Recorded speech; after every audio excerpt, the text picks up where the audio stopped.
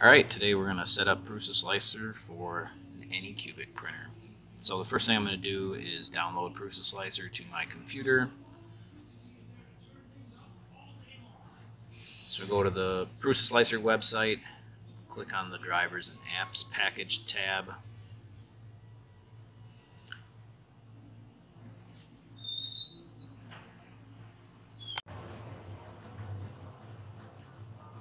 So just scroll down until you get to the Prusa i3. And you're going to click on the drivers and apps. This will download the Prusa software package to your computer.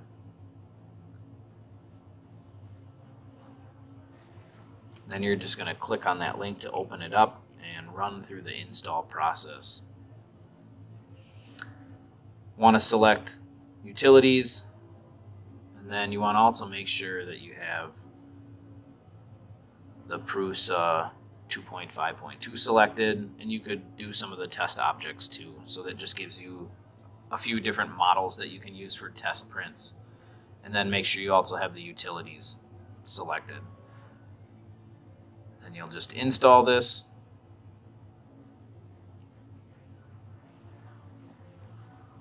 And it'll probably ask you to run the device driver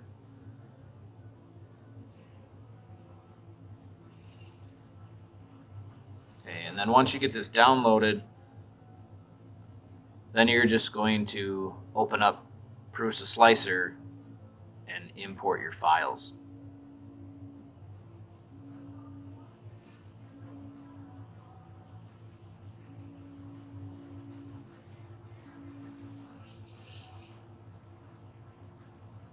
Okay, so the first thing you're going to do for us, because we have an Anycubic printer, is going to configure the printer to fit the Anycubic.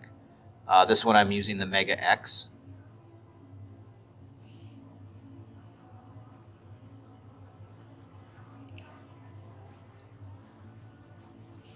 So you're going to go to the other vendors tab, uh, make sure that you have Anycubic selected. And then the printer that's the most similar to the Mega X is the i3 Mega. It's a little bit smaller. So then we'll have to manually go in and adjust the parameters of the printer. So make sure you check the define a custom printer profile because we're going to design a profile just for the Mega X.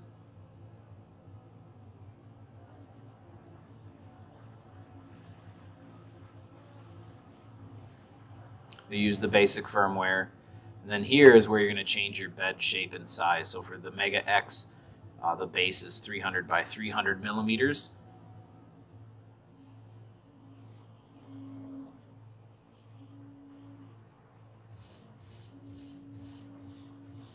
Okay, and then this is just filament nozzle diameter. Those can all stay the same. Uh, for PLA filament, I would up this to 215 and then your bed temperature to 60 degrees Celsius for the base profile. Okay, and for us, we're only going to be using PLA on this printer, so we can unselect all of the filament types and just select um, Prusa PLA and then the generic PLA you could also add in there for a profile.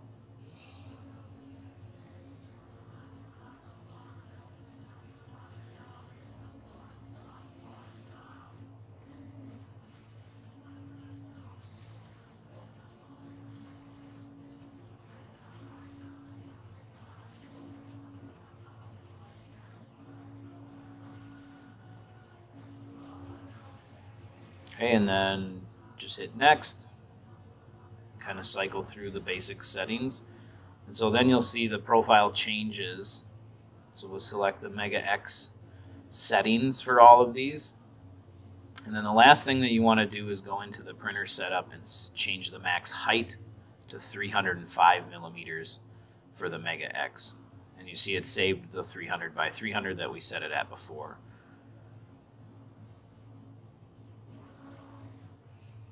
Okay, notice here our filament settings. The nozzle and the bed temperatures are 215 and 60 that we set it at for PLA. And then all these print settings you can pretty much keep at the, the base default level. Okay, so now we're going to insert our file. And to do that, go to your downloads folder. And we have the low poly Fox example. And then you're just going to click on that to open it. It'll insert it into the program.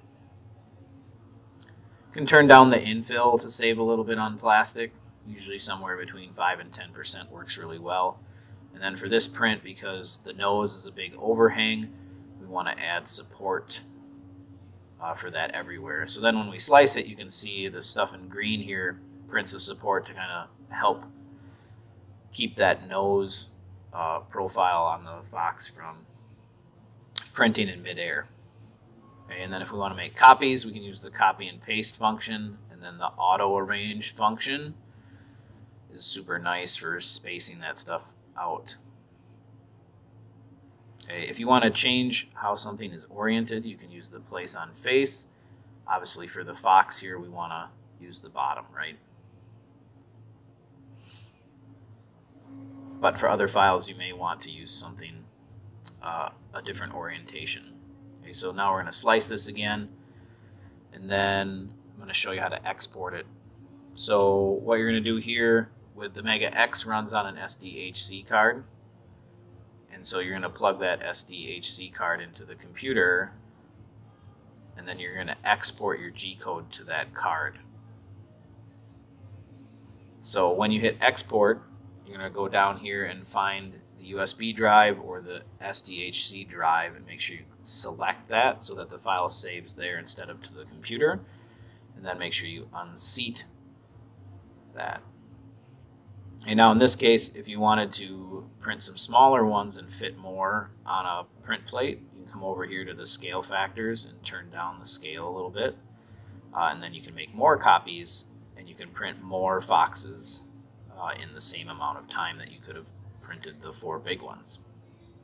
And then the same process, you're going to export the G code after you slice it.